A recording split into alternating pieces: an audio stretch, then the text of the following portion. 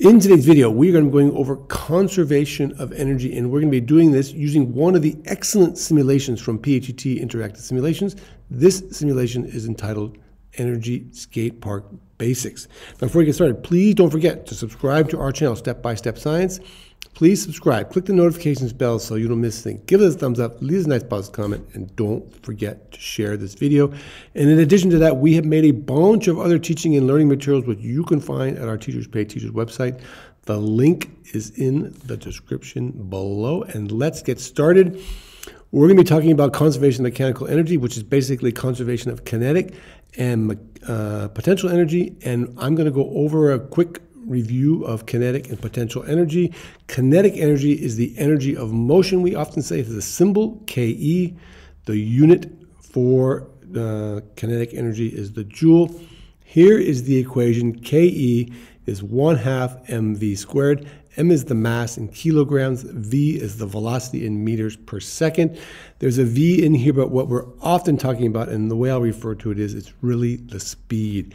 And you can see from this equation that the most important part of the equation is the velocity or the speed. The faster you go, the more kinetic energy you have.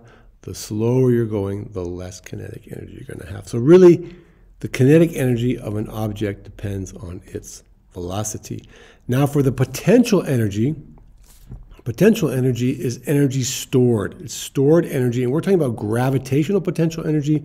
So we're going to say that it's the energy stored by an object because of its position relative to other objects. And really what we're going to be talking about is the energy relative to a certain position above the surface, whether it's the surface of the room or the surface outside but it's the energy that an object has because it has some height above some surface. Now, the uh, unit again for energy is the joule. The equation symbol, the symbol for potential energy is PE. This is the equation that we use for calculating gravitational potential energy. The potential energy is equal to the mass of the object times g times h, which is the height. The mass is m measured in kilograms. Acceleration due to gravity at the Earth's surface is 9.81 meters per second squared. And the change in the height, the height above the surface is h, and that is going to be measured in meters. Now, we're also going to be talking about the total mechanical energy, which is simply adding together the kinetic and the potential. That's all you got to do for the total. Again, the symbol is the, uh, the unit is the joule, and I'm going to use the symbol TME for total mechanical energy. Sometimes you just see an E or sometimes you see ME for mechanical energy. Now, also in this case, we need to talk about conservation of energy because we're going to be talking about conservation of energy and how energy can be conserved in a system. And conservation of energy is the fact that the total energy of an isolated system remains constant. And often we just say that that means that the energy cannot be created or destroyed, but it can be transformed from one form to another. Now, in this uh, simulation in the video, we're going to start out by saying there's no friction for the skater, and therefore energy is conserved. So the total mechanical energy of the skater at any one point on the skating track is going to be equal to the total mechanical energy at any other point on the track. And that means if we add the kinetic and the potential at one location, it will be equal to the sum of the kinetic and the potential at another location. Okay, so here is the simulation that we're going to use. This is an excellent simulation. Again, it has called Energy Skate Park Basics. There's three different windows. There's the intro window, the friction window, and the playground window. We're going to use the friction window. There's three different tracks, this kind of U-shaped track, then there's this ramp-like track, and then there's this one that looks like a W. We're going to use this one, and we are going to keep the mass where it is. We're going to reduce the friction to zero. We'll start off with the friction at zero, then we'll talk about what happens when we add friction. We're going to have the bar graph, the grid, and the speed. I think the pie chart is a little excessive. Get little, gets a little distracting. And you can see that the skater here and this in very important graph, this is the graph I think the key to the whole thing because we can see the relationship with this graph of the kinetic, the potential, the thermal, and the total amount of energy. The thermal energy is really the heat. So when we have the skater just standing right here, the skater has no height, the skater is not moving, and therefore no kinetic and no potential energy, and the total energy of the skater is zero. But you can see as I begin to raise the skater up above the zero meter, above the ground surface, I'm giving the skater some potential energy because I'm giving the skater some height. Now at the very top, I can hold the skater there, not moving, no kinetic, and then has all potential energy.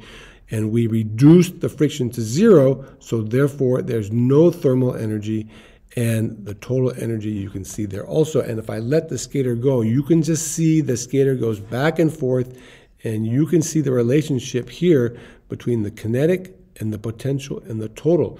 The total remains constant because for any place on the skater's track, if I add up the kinetic and the potential, I will get the total, and the total remains the same because energy is being conserved because there's no friction.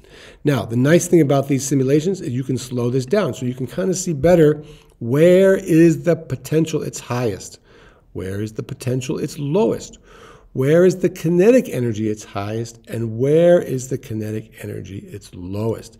You can see that very nicely, the relationship between the kinetic and the potential as the skater skates back and forth. Now I'm going to let the skater go one more time. And then I'm going to stop the skater almost at the highest, which would be six meters. And I can step through and I can see as I skater comes to the top, it's slowing down, slowing down, slowing down. And right there, basically, the skater's velocity is zero. That means that the skater has no energy, no, excuse me, no kinetic energy. But all the energy that the skater has is stored as potential energy, and you can see that's equal to the total. So at this location, the kinetic is zero, the potential is its highest, and that's equal to the total energy. Now I'm going to let the skater come down the track. And as the skater comes down the track, you can see the kinetic is increasing and the potential is decreasing. And right about here, they're equal to each other. Well, the, where did the kinetic energy come from? At the top, there was no kinetic energy. Well, that kinetic energy came from the potential because as the skater comes down the hill, it loses potential energy because the height is decreasing. As it comes down the hill, the skater is gaining kinetic energy because its velocity is increasing. And so we're converting potential to kinetic energy. And then we come down a little farther and right down there at the bottom, you will notice the skater has no potential because the skater has no height. You will notice the skater has lots of kinetic. In fact, all of the potential energy has been converted to kinetic, and the kinetic energy is now equal to the total because this is the point at the bottom where the skater is going the fastest, and all of its energy is kinetic energy. Then as we go back up the hill again, you can see the potential is now increasing because it's gaining height. The kinetic is decreasing because it's losing speed. And then once again, when we get to the very top, you can see that the skater stops momentarily, always stops momentarily before coming back. Now we're back to the same situation we had over here, all potential and no kinetic. So I can put this back and let it just run, and you can see once again the relationship between the kinetic and the potential stays the same. The total never changes because we have conservation of energy. No thermal energy because there's no friction. Now, I can increase the friction, which is the real situation because it's never going to not going to keep going back and forth forever. But now you can see I'm introducing some friction.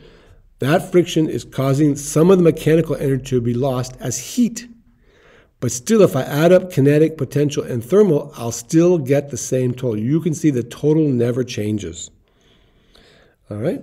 But friction is causing some of the mechanical energy to be lost as heat. And if I let the skater go back and forth, now you will see the skater comes to a stop at the bottom, and all the potential and all the kinetic energy has been converted into thermal energy right like that. But you'll notice the total is the same. All right? So now let's go back and summarize what we saw here, right here. And we can come back here, and here's the skater at the top. At the top, we said the skater had the highest potential energy and no kinetic energy, no velocity, no kinetic energy, greatest height, highest potential energy. Then at the bottom, the skater comes down the bottom, the potential energy is converted to kinetic energy. Why does that happen? Because the height is decreasing and the speed is increasing. At the bottom, there's no potential. Why? Because there's no height.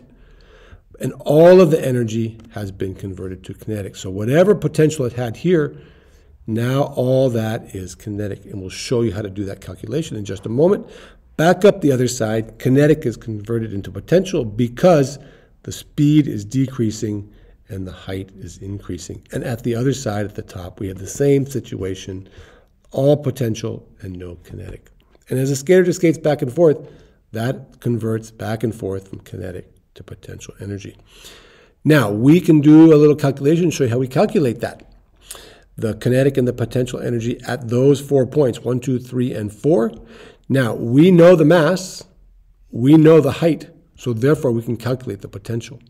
The potential is just the mass times g times h. The mass is, not, is 56, g is 9.81 meters per second squared. That's a constant at the Earth's surface, and you can see the height is basically 6 meters. And we get that the skater has 3,300 joules of potential energy. I rounded that up a little bit, so it's 3,300. Now, at the top, we said earlier, there's no velocity. The skater's not moving, no speed. So what's the kinetic energy at the top? Zero. Now, for number two, what happens? As a skater comes down, it's going to be losing all of its potential.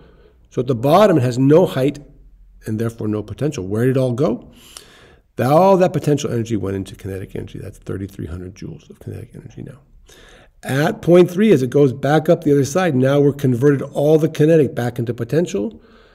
And then at the very last thing is right here, we're going to say four is right here at the, at the middle, basically. So we could calculate the potential energy and then subtract that from the total to get the kinetic. But we know if it's right there in the middle, then it's halfway down or halfway up, and it's half of the energy is potential, and the other half is kinetic.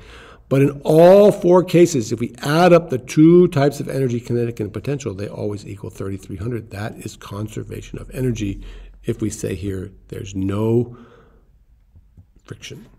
Now, another common thing you'll be asked to do is to figure out what is the velocity at point two. Or really, you could figure out the velocity at any point along here. We know the velocity at the top is zero, but we want to know the velocity at the bottom and how fast the skater is going. And we can do that two ways. The first way we can use is just the kinetic energy equation because we know the kinetic energy is 3,300 joules. So I can rearrange this equation for the kinetic energy and rearrange it for the velocity. And then I get that velocity is the square root of 2 times ke divided by m. Well, we know the kinetic energy is 3,300, so it's 2 times 3,300 divided by 56, and you get 10.9 meters per second. Another way we can do that is using what we would say conservation of energy equation. Here's a conservation of energy. The total mechanical energy at one point is equal to the total mechanical energy at another point. Well, at point one, we know the object is not moving, so it has no kinetic energy. At point two, we know that the lowest has no height, so that's going to mean that the kinetic potential energy is zero. So each of these terms is zero. So now we have the potential energy at one is equal to the kinetic at two, which we knew that already. The potential energy is mgh. The kinetic is 1 half mv squared. You can see we have an m on both sides of this equation. We can cancel those two m's and solve for v. And for this equation, we get that the velocity is the square root of 2 times g times h, and it's the height. It's really the change in the height. And that's 6 meters. Plug the values in again, and we get 2 times 9.81 times 6 and we get the same value of 10.9 meters per second. So there's two different ways you can come up with that answer. One is just using the kinetic energy equation, and one you would say in this case using conservation of energy. Okay, so there you go. I think we did a very good summary of conservation of energy using one of the excellent simulations from PHET Interactive Simulations. That's the Energy Skate Park simulation. I'll put the link to the simulation in the description below. And I hope you found that video helpful. If you did, please do all of the following five things. Support our channel, Step by Step Science. You should subscribe, please. You should click the notifications bell so you don't miss anything. You should leave us a nice positive comment, give us a thumbs up, and don't forget to share this video. Thank you so much for watching. We appreciate it very much. We'll see you in the next video.